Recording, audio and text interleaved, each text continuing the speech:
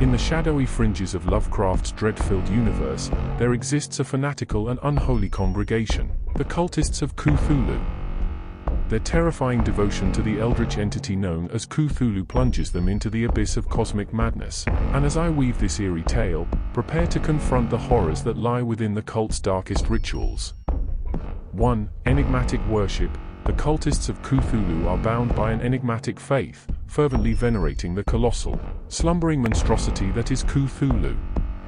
Their faith is a testament to the unfathomable power and malevolence of their dread deity.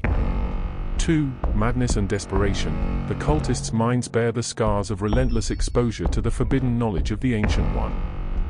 Their sanity unravels like tattered threads, as they delve deeper into the eldritch mysteries that Cthulhu represents.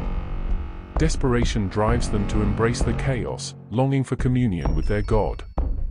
3. Disturbing rites. Within the shadowy confines of their clandestine gatherings, the cultists perform unspeakable rituals.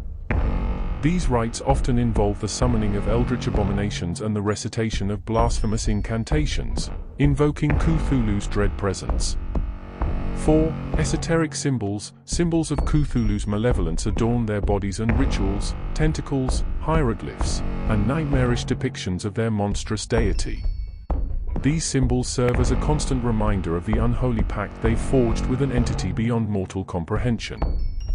5. Fanatical reverence. The cultists' reverence for Cthulhu is unwavering, even in the face of imminent doom.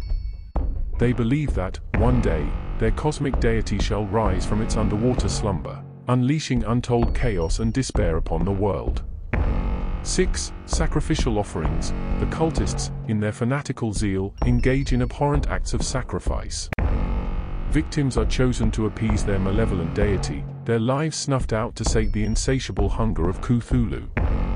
7. Dreams of Apocalypse. The cultists are obsessed with the apocalyptic vision of Cthulhu's return. In their fevered dreams, they envision a world consumed by madness and chaos, with their dread god reigning supreme over a realm of nightmarish horrors. The cultists of Cthulhu are harbingers of cosmic doom, willing to trade their sanity and humanity for a glimpse of the unspeakable truths that lie beyond the veil of reality. They exist as a chilling reminder that there are those who willingly descend into the abyss, seeking communion with forces that defy all reason and understanding. In their obsession, they stand as a terrifying testament to the eternal allure of Cthulhu's malevolent presence, waiting for the day when the stars align and the world descends into madness.